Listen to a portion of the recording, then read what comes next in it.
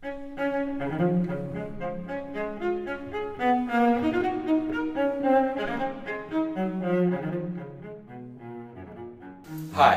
I'm Dylan Demkowitz, and I'm running for the position of Student Senate Vice President. Many of you feel that Vice President is not an important position. I disagree. The presidency is a dangerous job, and I can guarantee you, if something were to happen to him, I would be right there, ready to step in. How dangerous is it? Allow me to demonstrate. This is Danny Paglia. For our purposes, let's assume Mr. Paglia is Mr. President. I contend that the University of Detroit Jesuit Student Senate President is a very dangerous job. Dylan, nothing ever happens to the president.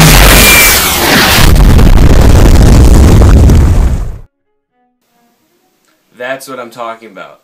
And if that were to happen, I would be there at a moment's notice, ready to step in. Did you know that Selfridge Air Base is only 25 miles from U of D Jesuit? Do you realize what could happen if something were to go wrong in our airspace? Come on, Dylan, are you serious? Come on, Dylan, that's up. Ah! That's right. Our president could be crushed by an F-21 fighter jet skidding into our parking lot. It could happen. And you know who would be there when that happens? Me, Dylan Demkowitz, your vice president. Dylan, I think they get the point. Really? And when that happens, I'll be there to take the wheel, as it were. So if you think the office of vice president is not important, think again. Vote me, Dylan Demkowitz, to be your next vice president. I'll be there for you. Guys, the president is vulnerable. Vote for Dylan Demkowitz. He'll be there if you need him.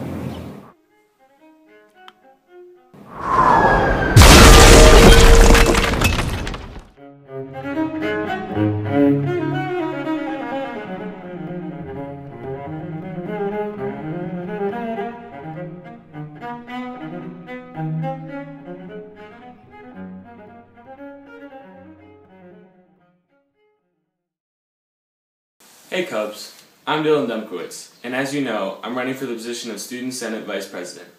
I feel that I am very qualified for this position.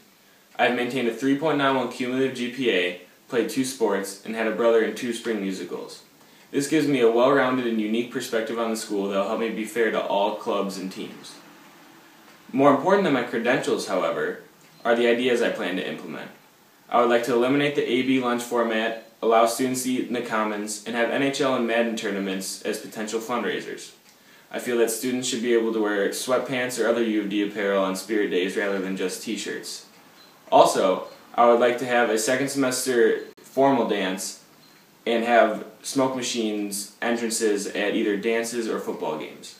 If elected, I would ensure that you, the student body, have more of a voice than you currently do and make everything more friendly to you by putting decisions up to a student vote. If you elect me to be your next Student Senate Vice President, you will not be disappointed. Thank you, and Demko for VP.